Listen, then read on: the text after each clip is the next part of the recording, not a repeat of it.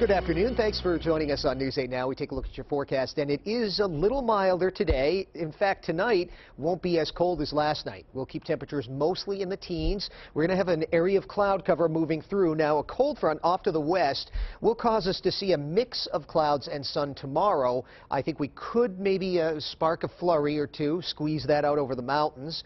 Otherwise, though, looks like a decent day. It will turn a little milder, too. I think temperatures tomorrow will actually get uh, into the 30s. We could even be a couple degrees above average for a change.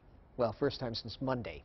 Now, we're also going to see more clouds thicken up on uh, Friday night. Saturday morning, the clouds will continue to thicken, and we might see some snow develop across the area, especially in the northern two-thirds of the area during the afternoon and evening. There could be some accumulating snow here, several inches possible, especially as you head inland and north uh, may mix with a little rain along the coast as a warm front or that front comes back north at us and uh, brings in some milder air. We'll feel the effects of the milder air also on Sunday.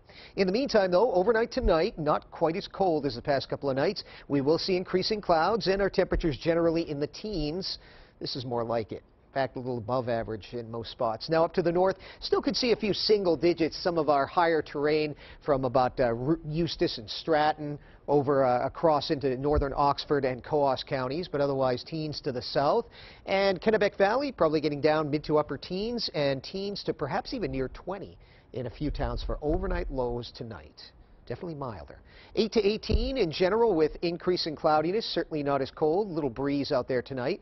Um, for tomorrow, 30 to 37, partly to mostly cloudy, certainly milder. There could be a brief flurry in the mountains, and we could get some snow in the afternoon and evening Saturday, especially north of Portland.